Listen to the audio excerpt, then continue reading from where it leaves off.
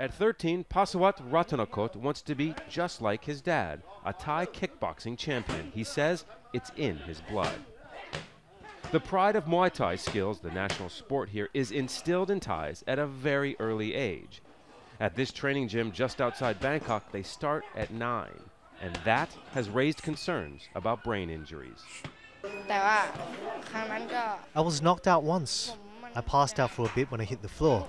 When I regained consciousness, I felt a bit dizzy.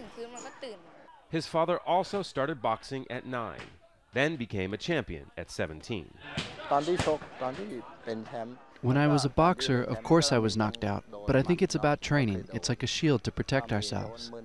But that's not nearly enough protection, according to a recent medical study. Brain scans or MRIs were taken of 500 children under 15 years old from similar social economic backgrounds. It lasted five years, included non boxers, and incorporated psychological testing. This is the first complete MRI study of the traumatic brain injury in child boxer. She says it's all about the damage of repeated minor brain trauma from blows to the head. Because of the damage, stop the maturation, the further maturation of some function of the brain. Cognitive function, the memory or the judgment, the higher brain function is not well developed yet. And when it got damaged, it's very difficult for them to further develop. And that includes memory loss and lower IQ. And this is where the young boxers hope all that hard work and training will lead them. For the lucky ones like Pasawat, it's to a big match venue like this one here at Bangkok's Lumpini Arena.